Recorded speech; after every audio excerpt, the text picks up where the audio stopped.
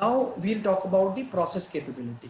Okay, we will talk about how to calculate the uh, uh, measurement system analysis as well. Uh, but let's talk about how is the process capability determined.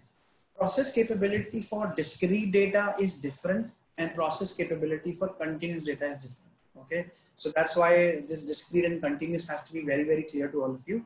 We'll try to complete the discrete today and then we will resume with continuous tomorrow. Okay. So as you all know, discrete data is one which has number of employees, different business units, count, pass, fail, nominal, ordinal, and continuous. You all already know that, you know, which can be uh, infinitely looking at. So let's look at discrete data, uh, the process capability. Before I get into before I get into the types of uh, uh, uh how to calculate process capability for discrete and continuous, what do you what comes to your mind? What do you think the meaning of process capability here? Let's think about uh, what is your understanding about process capability? Whether the process is stable within certain limit of okay. any specification or given specification okay so that's that's the that's the right definition. Whether whether my process is capable enough to meet the customer requirement.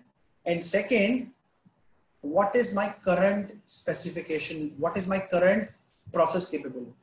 Okay, we can we can try answering these two questions with the help of process capability.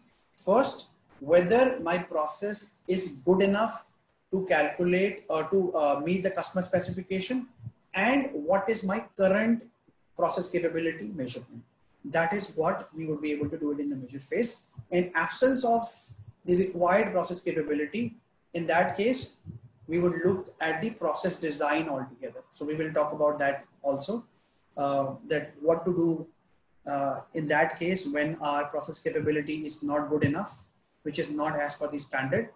Uh, but first, we will talk about how to calculate the current process capability.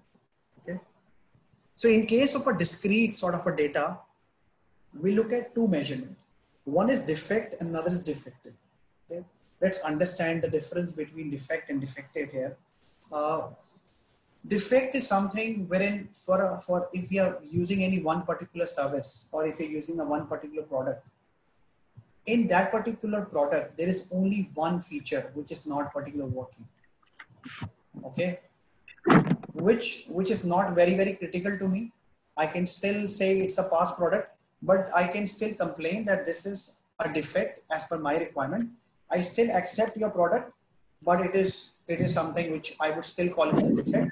So i would require certain maybe a compensation or maybe certain discount. That is defective defective is that one particular parameter which i am aiming at which is not meeting my requirement if that is not there, then I would consider the entire product as defective.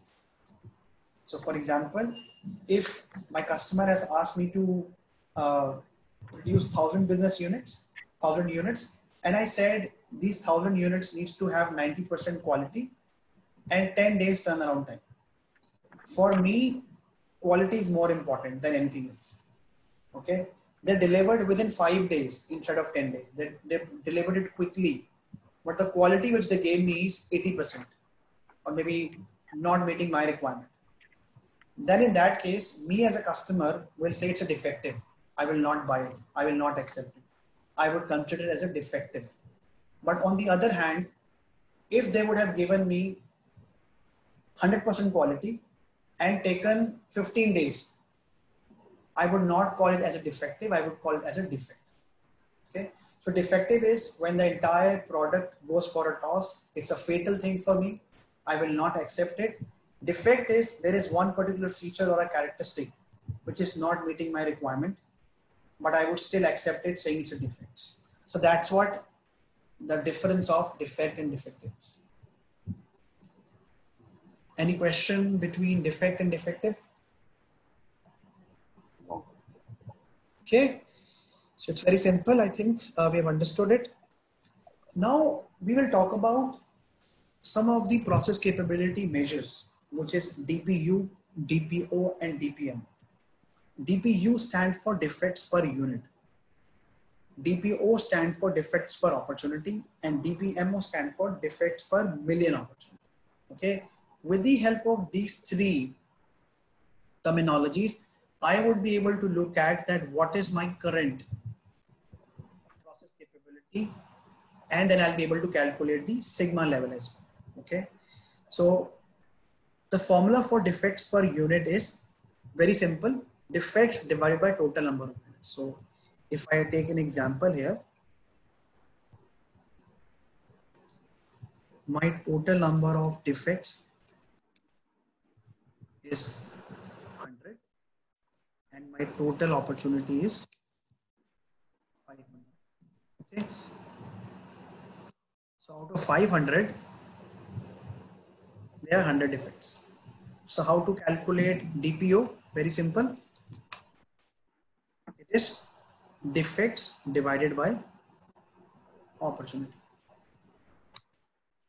So my DPO is equal to 0.2. Okay. Now if I want to calculate DPU here, which is defects per unit. So let's look at the definition of uh, the formula for defects per, uh, sorry, we have calculated DPU here, right? So defects per unit because these are the number of units. So out of 500 units that I produced, I found 100 defects. So this is DPU, 0. But if I want to calculate DPO, defects per opportunity, that I have, defects per opportunity is equal to defects divided by total number of opportunities. Okay. And where total opportunity is equal to total number of units into opportunities. Okay. So let's let's let's discuss that. So let's say I have 10 defects and opportunities I have is 5. Total opportunity